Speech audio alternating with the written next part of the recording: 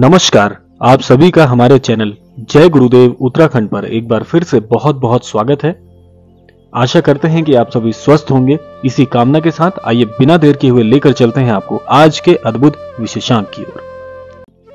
आज का ये अद्भुत क्रमांक, महाराज जी की एक ऐसी अद्भुत शिक्षा, महाराज जी का एक ऐसा मार्गदर्शन और महाराज जी की एक ऐसे आशीर्वाद पर आधारित है, जिसको अपने जीवन में प्रयोग करने से, जिसको अपने जीवन में लेकर आने से आपके जीवन में ऐसे ऐसे अद्भुत बदलाव होते हैं ऐसे ऐसे आपका हृदय परिवर्तन होता है कि आप दंग रह जाते हैं और आपका जो एक सकारात्मक प्रभाव है, इस पूरे विश्व पर छाने लग जाता है।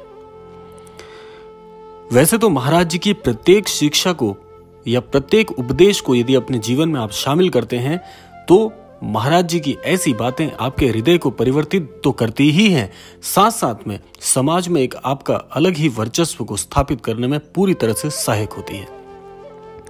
तो महाराज जी की तो वैसे सारी शिक्षाएँ, सारे उपदेश बहुत बहुत महत्वपूर्ण हैं और स्वर्णिम हैं, जिनका बखान करते हुए लाखों मुख भी नहीं थकेंगे, लेकिन उनके कुछ प्रभाव को, उनकी कुछ एक सीख को आज इस विशेषांक में आपके साथ साझा करेंगे, जिसके निश्चित तौर पर अपने जीवन में आप प्रयोग करने से आप स्वयं देख पाएँगे यह स्वयं आप इस चीज़ को अनुभव कर पाएँगे कि कितनी अद्भुत है महाराज जी की शिक्षाएँ। अब महाराज जी की वह सीख जो आपको जीवन में लेकर आनी चाहिए, महाराज जी की बातों को यदि आप सुनते हैं तो महाराज जी की बातों में सरलता और सहजता तो होती है, लेकिन उस सरल सी बात का भी इतना महत्व होता है, यदि गूढ़ता से उस पर विचार किया जाए तो बड़ा ही अद्भुत उसका आशय होता है। महाराज जी कहते हैं कि सभी की सेवा कीजिए। आपने सुना होगा, महाराज जी के तीन मुख्य बिंदु जो शिक्षाएँ हैं, जो शिक्षा स्तंभ हैं, उनमें से एक है कि सभी की सेवा कीजिए। महाराज जी ऐसा क्यों कहते हैं? सेवा करना बड़ा आसान कार्य सा लगता है कि आप किसी की भी सहायता कर दीजिए, दूसरों की मदद कर दीजिए, आपको अंतर मन से अच्छा लगता है और जिसकी सेवा आप करते हैं, वह आपको आशीष देता है। यह तो एक भौतिक प्रभाव है जो उस बात का है, लेकिन इस बात की गूढ़ता क्या है? इसमें समझने योग्य क्या है? देखिए, जब आप दूसरों की सेवा करते हैं तो उससे एक ऐसी ऊर्जा उत्पन्न होती है जो स्वयं आपके लिए बड़ी लाभकारी है। अब आप देखिए, जब आप किसी की सहायता करते हैं तो ये एक उच्च ऊर्जा का एक स्तर है। एक उच्च ऊर्जा को आप आकर्षित कर रहे हैं। आप दूसरों के लिए अच्छाई कर रहे हैं। तो अच्छाई वाली ये जो ऊर्जा आप अपने अंदर उत्पन्न कर रहे हैं, ये एक बड़े होने के प्रभाव को दर्शाता है। देखिए, प्रत्येक व्यक्ति सेवा का भाव रखे या ना रखे, ये स्वयं उसकी मर्ज़ी है।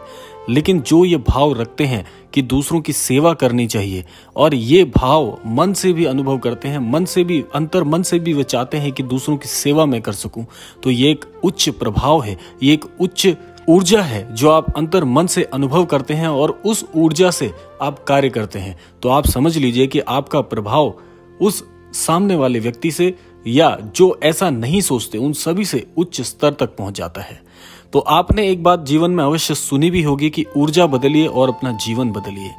महाराज जी की ये जो शिक्षा है, सेवा का जो भाव महाराज जी सिखाते आए हैं, वे इतना प्रभावशाली है कि जब आप नियमित रूप से जरूरतमंदों की सहायता करना, उनकी सेवा करना प्रारंभ कर जाते हैं तो आप एक ऊर्जा के उच्च आयाम को धीरे धीरे आपको अनुभव भी नहीं होता और धीरे धीरे उस आयाम को आप प्राप्त करने लग जाते हैं, जिससे आपकी जो भौतिक शरीर है और अंतर मन का जो सूक्ष्म शरीर है, दोनों की ऊर्जा का प्रभाव नियमित रूप से बढ़ता रहता है। और जिसकी जितनी गहन ऊर्जा होगी, जिसका जितना सकारात्मक प्रभाव होगा जीवन का, वह जीवन में उतना ही आगे बढ़ता है। वह व्यक्ति उतना ही इन चीज़ों को, इन रहस्यमयी बातों को समझना, इन गुणता को जानना और समाज को और इस सृष्टि को एक नई दृष्टि से देखना और समझना प्रारंभ कर जाता है। अब आप देखिए, होता क्या है कि जब आप ऐसी उच्च ऊर्जा के स्रोत के समक्ष आते हैं, जब ऐसे ऊर्जा के प्रवाह में आप आते हैं तो आपके जीवन पर इसका क्या असर पड़ता है? आपके जीवन में ऐसा होगा, उदाहरण स्वरूप मैं आपको समझा देता हूँ कि यदि कोई व्यक्ति आपका अपमान भी कर रहा होगा या आपको बुरे भले शब्द कह रहा होगा, क्योंकि समाज में हर तरह के व्यक्ति रहते हैं। आप सभी जानते ही हैं, आप सभी बुद्धिजीवी हैं, बहुत ही अद्भुत जानकारी आप रखते हैं तो आप ये देखते होंगे कि समाज में हर व्यक्ति का अलग अलग एक नज़रिया होता है, हर किसी का अलग अलग व्यवहार होता है तो जीवन में उदाहरण स्वरूप यदि कोई व्यक्ति आपका बहुत ही नकारात्मक प्रभाव से अपमान भी करेगा, तब भी आप उसको क्षमा करेंगे। ये क्षमा करना, देखिए, बहुत से अन्य दर्शक हमें लिखते हैं कि हर बात पर क्षमा करना क्या सही है? ये प्रश्न बहुतों ने पूछा है, बहुत जनों ने ये प्रश्न पूछा है कि यदि क्षमा ही कर देते तो फिर दंड क्यों दें? या दंड क्यों ना दे? इस प्रकार के जो प्रश्न हैं, वे आते रहते हैं। देखिए, क्षमा करना आपका व्यवहार हो सकता है, और ये व्यवहार कब बनेगा? जब आप उच्च ऊर्जाओं को प्राप्त करना प्रारंभ कर देंगे। क्योंकि हम सभी जानते हैं कि ये जो भौतिक शरीर है, कुछ समय के लिए ईश्वर ने हमें प्रदान किया है, और सब हमारा ही स्वरूप है। इस संसार में जिस भी व्यक्ति को आप देखते हैं, वे सब हमारे स्वरूप से बने हैं। सब एक सूक्ष्म शक्ति से बने हैं और ये उच्च शक्ति, ये जितनी भी शक्तियाँ आज इस समाज में चेहरे लेकर इधर उधर वास कर रही हैं या इधर उधर आपके इर्द गिर्द आपको बहुत से लोग दिख जाते होंगे सब एक ही शक्ति के प्रतीक हैं जो अंत में जाके एक विश्व शक्ति में जाके समाहित हो जाते हैं। तो आप इस गुणता को कब जानेंगे जब आप इन ऊर्जा स्रोतों से जाकर जुड़ेंगे? ये बड़ी गूढ़ बात मैं आपको बता रहा हूँ, बड़ी रहस्यमयी बात है। इसको समझने के लिए आपको थोड़ा बुद्धि का इस्तेमाल अवश्य करना पड़ सकता है, लेकिन ये बात यदि आपके मस्तिष्क में घर कर जाती है तो आप समाज को, इस सृष्टि को एक दूसरी ही दृष्टि से देखना प्रारंभ कर जाते हैं।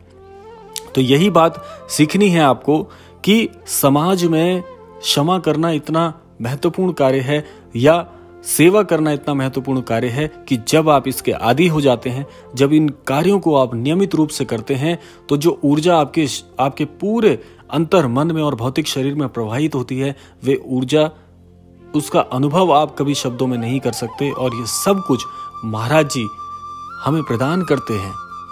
ये शत प्रतिशत सत्य मैं आपको बात बता रहा हूँ कि महाराज जी ऐसे प्रभाव आपको प्रदान करते हैं।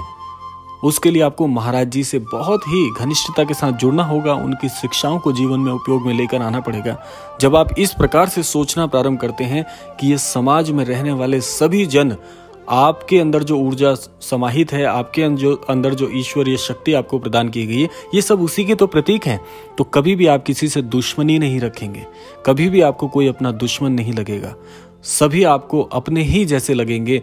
और मैं तो कहता हूँ कि महाराज जी कहते हैं कि जब आप सभी को एक समान देखना प्रारंभ करते हैं तो आप सभी के स्वरूप में ईश्वर को देखना प्रारंभ करते हैं। जो आप हैं, वही तो सब हैं। और जो सब हैं, वही आप में भी समाहित है।